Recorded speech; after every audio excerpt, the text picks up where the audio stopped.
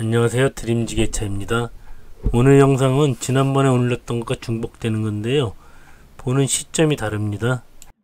지난번에는 5톤 지게차의 마스트캠이었고 이번에는 4.5톤의 블랙박스입니다. 즉 블랙박스 시선이 곧 지게차의 시선이죠.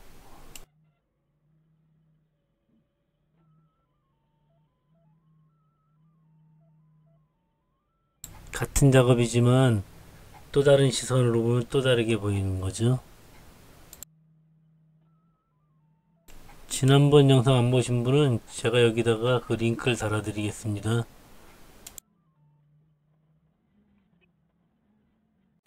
이 컨테이너 작업이라는 것이 부피 큰 걸 다루다 보니 항상 조심조심 할 수밖에 없어요. 보기에는 뭐 튼튼해 보이지만 지게발로 톡 건들면 부서져 버리는 성냥갑 같은 물건입니다. 지게차가 센 게 아니고 이 컨테이너가 약한 거겠죠? 뭐 그냥 헛깡판이기 때문에 뭔 힘이 있겠습니까?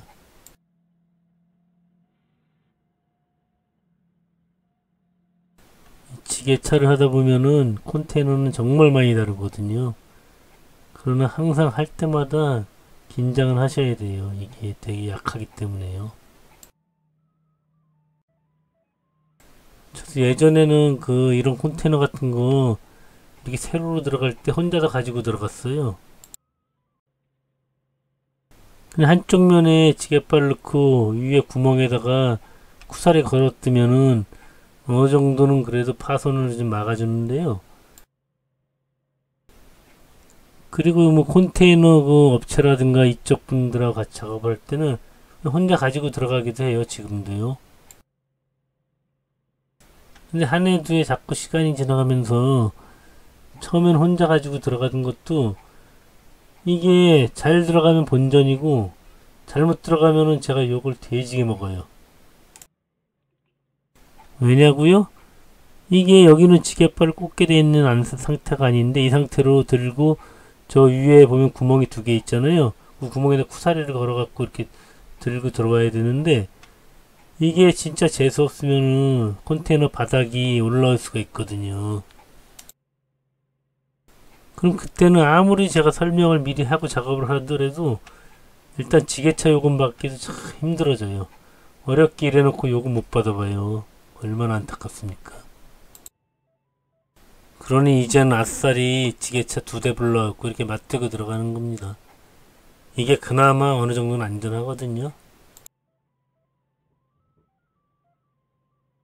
여기는 지난번 영상에도 말씀드렸다시피 이 양쪽에 이런 짐이 없었으면은 훨씬 간편한 일이었죠.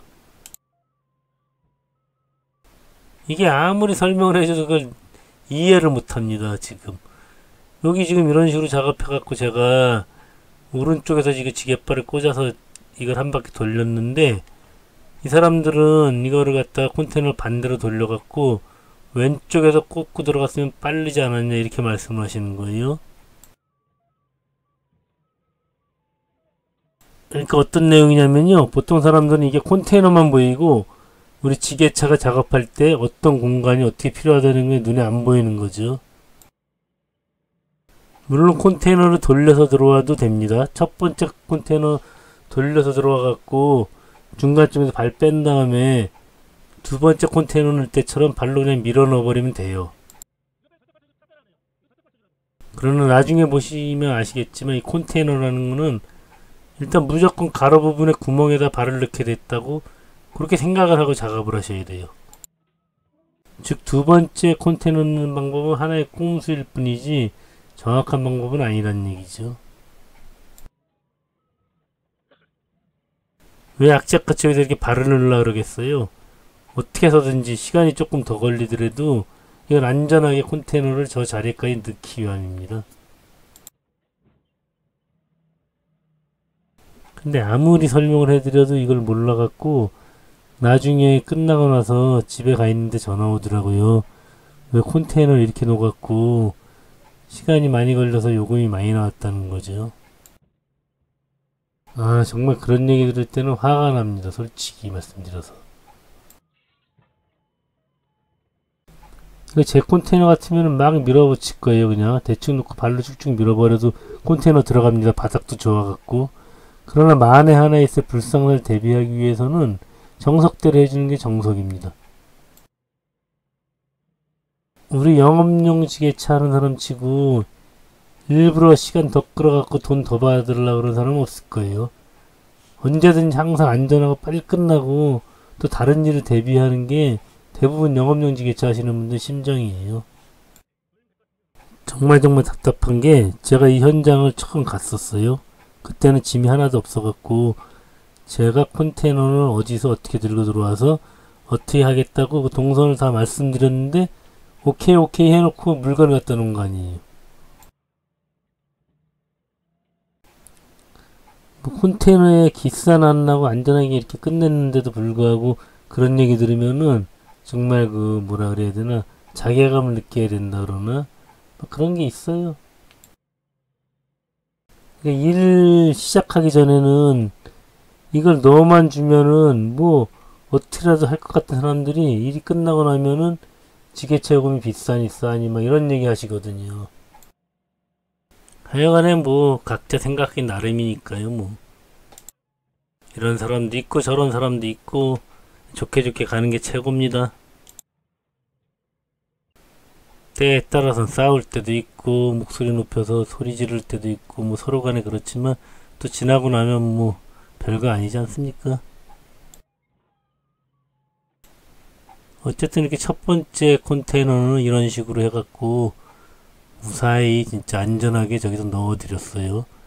이렇게 어려운 작업은 아니었는데 좀 어려워진 거죠.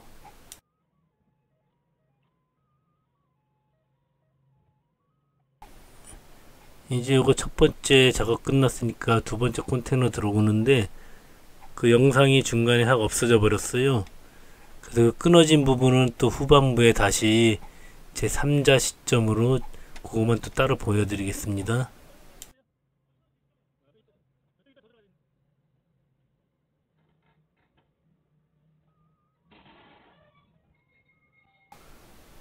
이 항상 틀에 박힌 일을 하는 게 아니고 항상 다른 일을 하잖아요. 우리 영업용지개처는. 저는 이게 적성에 좀 맞는 것 같아요. 맨날 틀린 일이기 때문에 지루하지 않아요. 그러나 그 지루하지 않은 작업이지만 사고 안 치고 잘하기 위해서 엄청 신경을 써야 된다는 것. 그리고 또 하나 모든 건 내 책임이라는 거 항상 갖고 계셔야 돼요. 매일같이 다른 일, 매번 다른 일. 지루하지 않은 대신 긴장감과 책임감을 항상 갖고 있어야 된다는 것. 자, 이제 두 번째 컨테이너 벌써 들어와 있고 지금 자리를 제대로 잡아주고 있습니다. 약간 조금 더 나와야 돼, 컨테이너가. 저 뒤에 문하고 그 맞춰야 되는데요. 조금 더 꺼내내야 되겠죠. 이때는 쿠사리를 걸어갖고 당겨버리는데 크게 좋은 방법은 아니에요. 현재 이 창고는 바닥이 맨질맨질 해갖고 그나마 저기다 걸어서 이렇게 당겨도 움직이는데 저기 만약에 땅이 안 좋아갖고 부하가 걸리거나 그러면은 컨테이너 부분이 떨어져 나갈 수가 있어요. 용접한 곳이요. 쿠사리 보시면 아시겠지만 끝에가 이 고리식으로 뭘 걸게 되어 있는 게 아니고 자기 자신 그 체인만 걸게 되어 있기 때문에 저런 식으로 작업하면은 저게 튕겨져 나올 수 있어서 좀 위험하겠죠 저거 저렇게 작업하는 거 아니에요 그냥 우리가 현장에서 대충 쓰는 그 편법인데요 저렇게 하지 마세요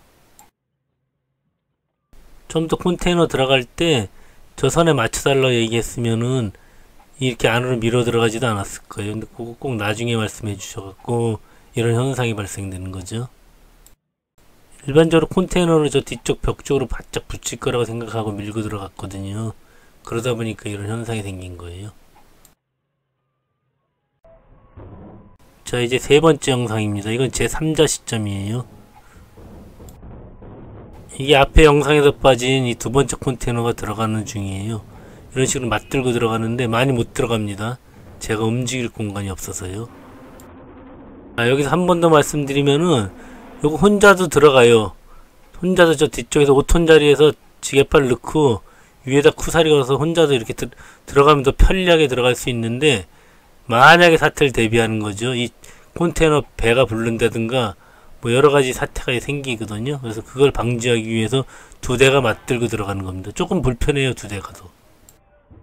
좁은 데서는 그냥 혼자서 저쪽 바깥쪽에서 들고선 들어가서 끝까지 밀어놓은 다음에 맞춰주는 게 훨씬 편하거든요.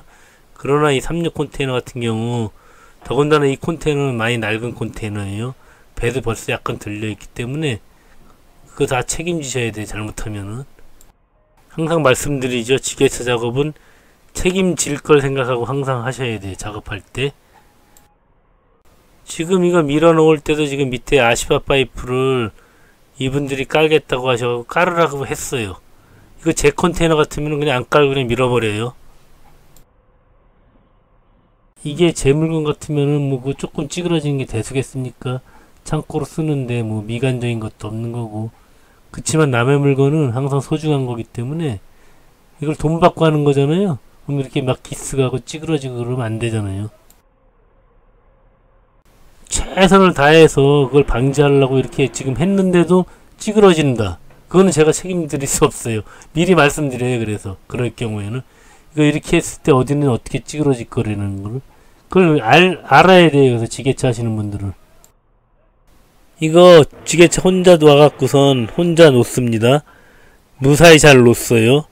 그럼 저분들 지게차 요금 한 대분 적게 들어갔겠지만 저는 아무런 이득도 없고 그냥 본전이에요. 그러나 만약에 늦다가 배가 불렀다거나 그럼 어떻게 될 것 같아요? 오늘도 몇 번 말씀드렸고 그동안 동영상에도 몇 번 말씀드렸다시피 다 책임져야 되기 때문에 미리 충분히 얘기를 해도 소용이 없어요 그거는 일이 벌어지고 나면은 일단 뭐든지 안전하게 하려면은 그리고 이게 파손 없이 하려면은 한 대가 더 와서 하는 게 훨씬 확률이 높아지는 거예요. 일단 두 대가 맞대게 되면은 요 지금 지게차 발 들어간 부분만 약간 찌그러지지 배가 불 확률은 거의 없어요. 저도 한때는 그럴 때 있었습니다. 혼자서 저거 갖고 들어가고 갖고 나오고 그러면은 어 기술 좋다 그러면은 뭐 뿌듯해한 적도 있었는데 그게 다 필요 없는 짓이라는 거. 지금 보시면 아시겠지만 저 지게발 들어간 부분 찌그러져 있죠. 저기는 찌그러져요 이렇게 들게 되면은 물론 저든 제가 든 쪽은 안 찌그러졌어요. 그 재수가 좋아서 안 찌그러진 거지 뭐 제가 기술이 좋아서 안 찌그러진 게 아니에요. 이 콘테이너 혼자 들고 들어가게 되면은 저거 찌그러진 거 플러스 지, 에, 컨테이너 배가 올라올 수 있다는 거 그거 아주 안 좋죠 무사히 배 안 올라오고 잘 끝나면은 그냥 끝난 거고 배 올라오면은 책임을 져야 된다는 거 아시겠죠? 하여튼 뭐 몇십 년 동안 혼자서 넣으신 분도 있을 거예요 그 한 번도 배 안 들렸는데 너 왜 이따 소리 하냐 그럴 수도 있지만 그운 좋아서 그런 거예요 지금 요거 5톤차 하시는 사장님이 지게차만 거의 한 30년 넘게 하셨을 거예요. 제가 알기로. 제가 아는 것만 해도 30년 이상 되신 분이니까요. 그래도 언제나 자만하지 않고 항상 조심스럽게 일을 하세요. 저보다도 더 조심스럽게요. 그래서 항상 이런 맞작업 같은 거 할 때는 제가 이 사장님하고 작업을 많이 해요. 서로 안 보여도 호흡이 맞아요. 어떻게 뭘 한다는 게 대부분 마저 떨어져요. 그런 게 서로 보이지 않는 데선 굉장히 중요하거든요. 자 이제 영상 말미에 한 번 더 말씀드리겠습니다. 요 컨테이너 혼자 들어갈 수 있어요 분명히 그러나 요거 찌그러진 거 플러스 배가 들릴 수 있다는 거 수습하기 힘듭니다. 그럼에도 불구하고 여기 소비자분이 그 컨테이너 화물주가 원하신다면 제가 해드릴 용의는 언제든지 있어요. 제가 책임을 안 진다는 걸 분명히 제가 말씀드리고 하거든요. 물론 그렇게 말씀드리고 했는데 실질적으로 배부른 적은 저도 딱 한 번 정도 있, 있었나 지금까지 거의 없습니다 사실은 그러나 그럼에도 불구하고 저는 단 한 번도 실수하기 싫거든요 그렇게 혼자 작업하다 한번 배부르면은 그거 한참 가요 그 뭐라 그러나 트라우마라 그래야 되나 그래갖고 아예 그렇게 하기가 싫어진 거예요 자, 저거 컨테이너 100만원, 200만원짜리 돈 5만원, 10만원 아낄래다가 배불러 놓으면은 더 아깝잖아요. 돈 너무 아껴없다고 생각하지 마세요. 자, 오늘도 동영상 봐주셔서 감사합니다.